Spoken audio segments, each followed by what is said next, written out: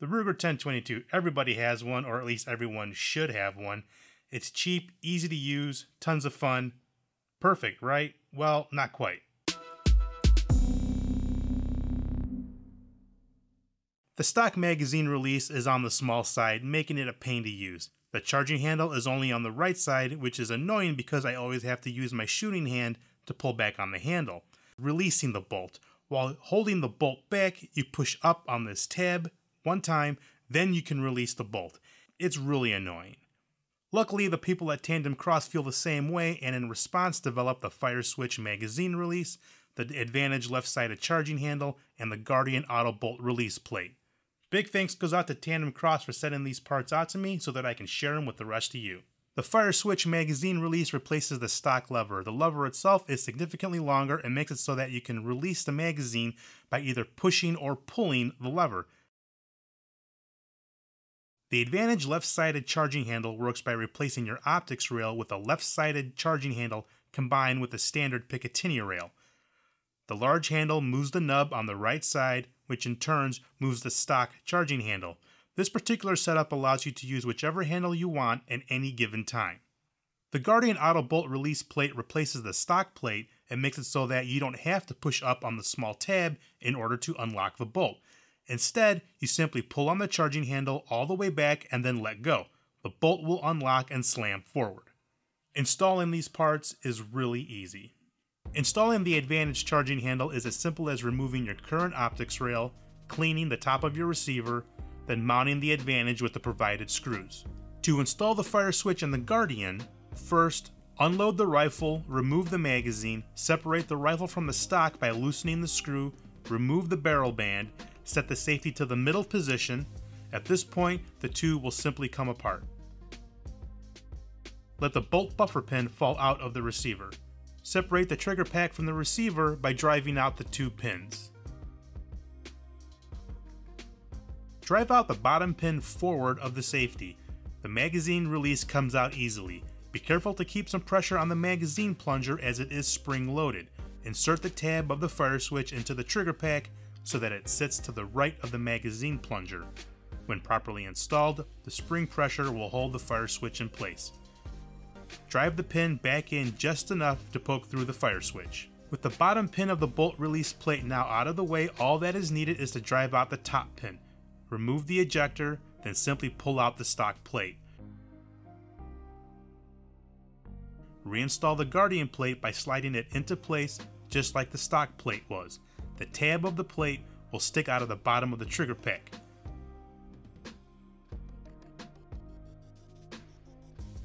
Finish driving the bottom pin.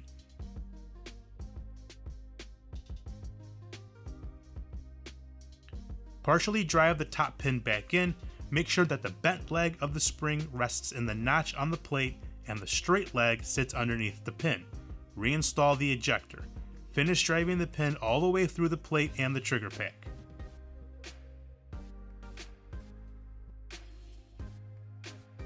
At this point, reassemble the trigger pack, receiver, and stock in reverse order.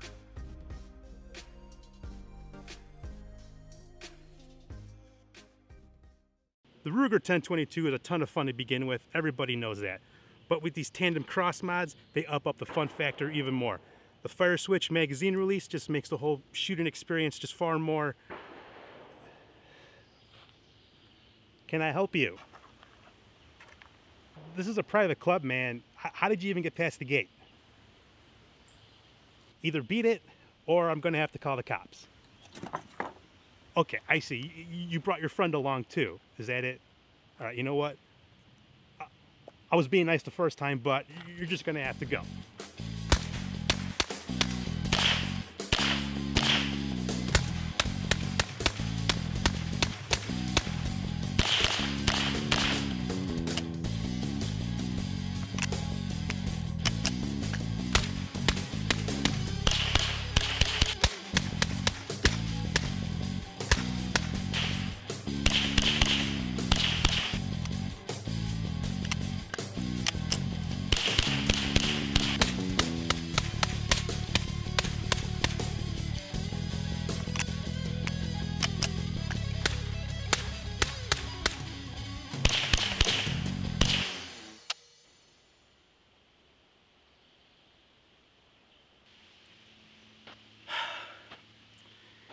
As I was saying, the Ruger 1022, it's all kinds of fun.